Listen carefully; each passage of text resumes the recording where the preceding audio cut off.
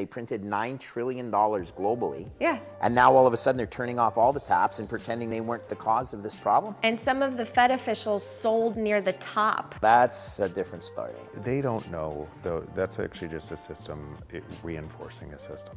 They don't know. So remember that what people said at that time it's not going to create inflation. No, no problem. We got this under control. So inflation's going to be transitory.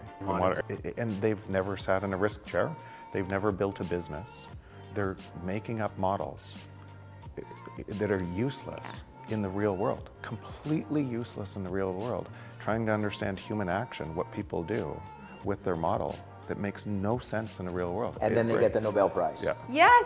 Yeah. I can't say it any other way, but like this is absolute clown world central Yeah. where they go around patting each other on the back. Great job, Ben.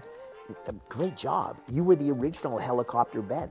You made this policy and now we're giving you the Nobel Prize? Yeah. I'm not saying this, but there's a guy named Kuppy who's a great follow, a hedge fund guy. I know who he is, friend of Mark Moss's. All right, I don't want to dox him too badly. He said Powell, or sorry, Bernanke should be in prison. I'm not saying that.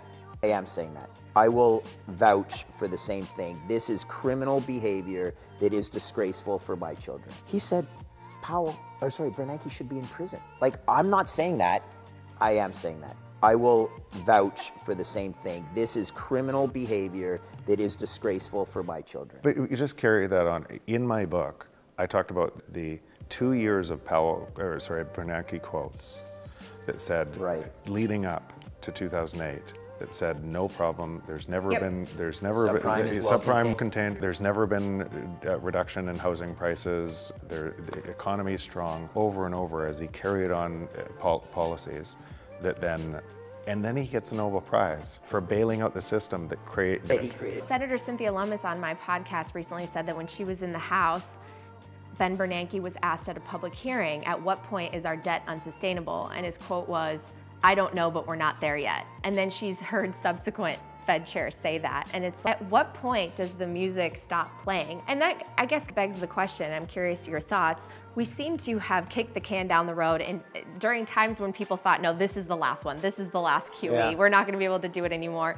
What's the scenario in which we do muddle through this? So today, if the entire world says is going to stay on the U.S. reserve currency, if the entire, then what that means is U.S. could continue. Essentially, the, the rest of the world is financing the U.S. and the U.S. essentially giving vendor financing to the U.S. and U.S. prints prints money to trade in, in printed money, and that is a negative externality around the world.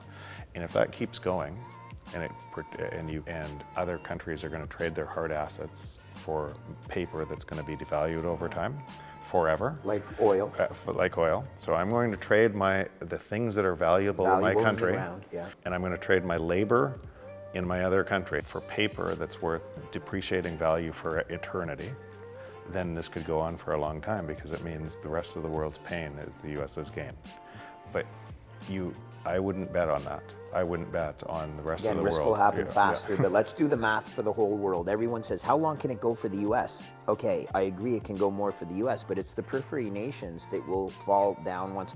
Because again, if you take the world as one system, the total debt of the world is 400 trillion versus GDP, which is 100 trillion. If you look at the whole world, all right, it's very simple. There will be catastrophes because of that math of the whole world. Can the USA still do it? Most likely. They will be the last, they're the best looking horse at the glue factory. But that's all they are the best looking horse at the glue factory. But what ends up happening is now, so the 40s were like this, but the US was the only superpower, and they were in China's position as a manufacturer of the world in, in that at that time. Today, today, they're very different. For, if you added today, information travels faster, right? So learning happens faster. So people are more aware of a problem like this.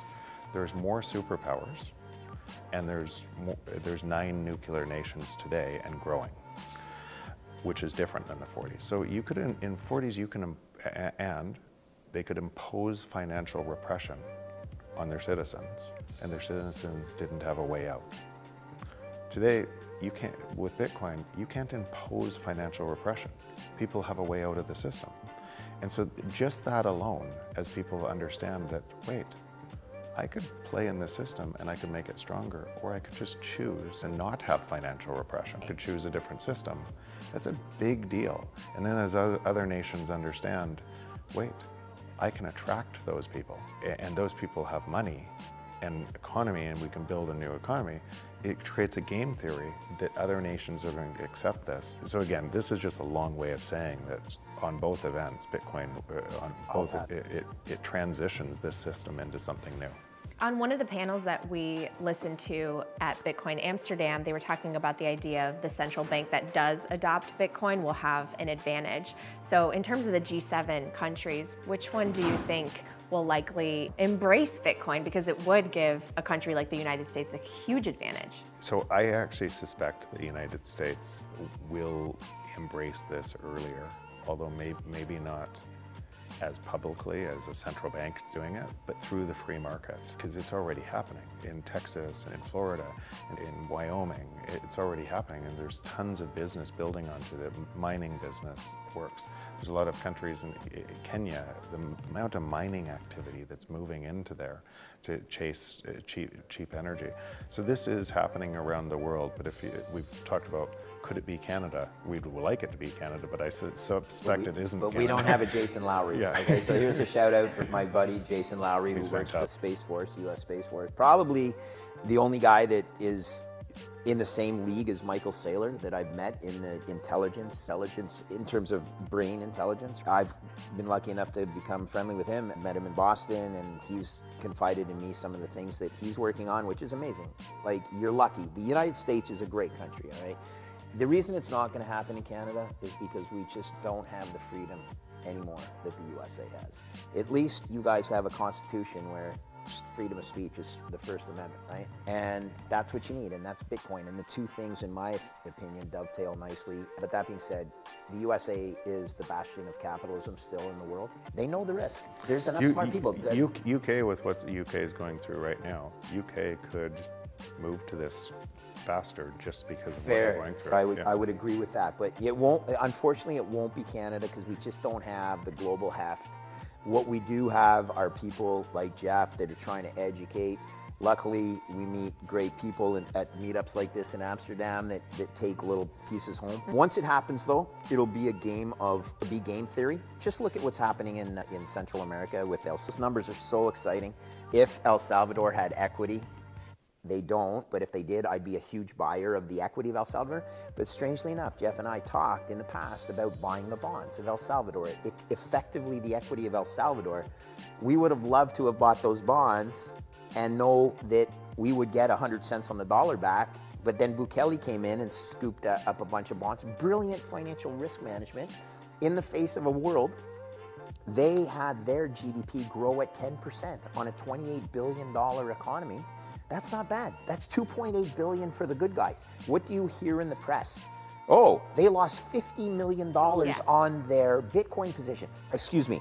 You lost 50 million, but you just put 2.8 billion yeah Totally. On your top line revenues. And it's unrealized, right? They haven't sold their Bitcoin. They're holding on to it like that. That was the plan. Still so an that, opportunity cost. But that being said, Nat, you got to understand, right? It's an order of magnitude higher. For sure. That, that's actually two, or, you said it the other day. Is it two orders or one order? I mean, it doesn't matter. The point is you're dealing with 2.8 billion yeah. versus 50 million. And what does the New York Times and Krugman report on? And CNBC also, yeah. Really disgraceful. Their bet isn't paying off, failed experiment. Reporting. Yeah. Start telling the truth, okay? So people in Central America are going to adopt it. And if we're not smart in Canada, you know what my advice is? Learn Spanish. But it does speak to that idea of companies that are adopting Bitcoin as well, mm-hmm. institutions. They are sitting on losses right now, including MicroStrategy, right, that are unrealized. But that goes to speak to the importance of the fair accounting mm-hmm. change that just happened. Can you share for people that are, maybe aren't as familiar, how big of a deal is this for Bitcoin? What happened in the past is you had to write down as a loss your holding on Bitcoin. And you never got to write it up, you only could write it down, okay? The if in a case of a company like MicroStrategy where Michael Saylor says he's going to hold it forever, yeah. it's actually irrelevant because you don't you're never going to crystallize your loss unless you sell it. But for new companies that have to report to shareholders that they're putting this risky in their terms, risky asset on the books. What if your quarter is destroyed because you have to mark down the holding of a Bitcoin, which is a long-term asset marked to short-term? Let's look at, uh, be honest. The banks are exactly the opposite of that. The banks never mark down their holdings unless there's a default on the loans. If it hasn't defaulted, they keep it at 100 cents on the dollar. So I think it was it's fairer, uh, more fair accounting. I think it'll make it easier for other companies Yeah, so to come Mike, in. yeah, Michael Saylor could buy Bitcoin because he owned enough. That's correct. Share, He owned the class. board, He owned like, the board, but he he could he could board. he could drive the control of that because he had control of the public company. In most cases, that type of rule would prevent a CEO from making that decision because they would be out if Bitcoin went down. That next quarter, they're gone. They uh, flush their quarter, They flush their, their quarter, and it, it's an unrealized loss, and it makes no difference to shareholders. But if the accounting says you have to write it down, you have to write it down. So it it'll down. make it easier, definitely easier, Yeah, so yeah, you could you you could expect a whole bunch more adoption by companies out of that that rule because it makes it easier to adopt it.